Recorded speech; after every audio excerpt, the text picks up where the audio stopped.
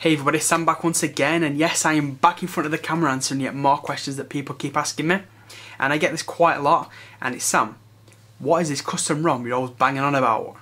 Well in today's video I'm going to explain to you what I'm on at and what it actually does and what the benefit is. So let's get into it.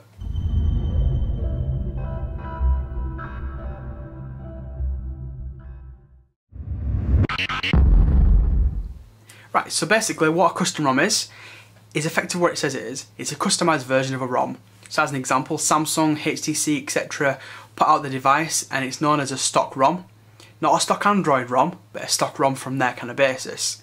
Now, what these developers do, some people may want to say hackers, crackers, I like to call them developers because effectively they are developing for the device.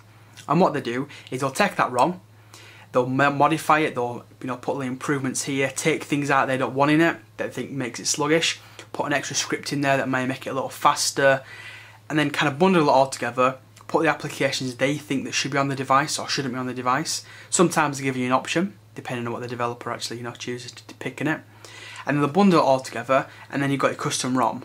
The advantages of that is that if they don't like the look of it, let's say they don't want the green notification, the green in the notification bar, they decide I want to have a blue one. They can basically modify it, put it in there, or give you an option. You can have an update zip, basically it's an update file, you flash it on your device and it updates it to, as an example, remove like little stupid, you know, um, brightness slider, change the colour on your device, change the launcher. There's so much customization you can do with this with a you know custom ROM. I always recommend doing it if you know how to do it. I'm going to come to a future video with regards to should you root, should you not root, do you need root? Because a lot of people keep asking, Sam, do I need root?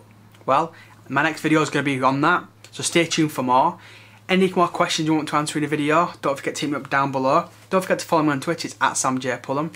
Don't forget to like the video as well if you if you much if you know if you like these kind of videos. It is very much appreciated. And depending if you got the new YouTube, maybe subscribe up there or subscribe down there. Who knows? Anyway, thank you for watching this one and you will see me in a future video. Cheers everyone.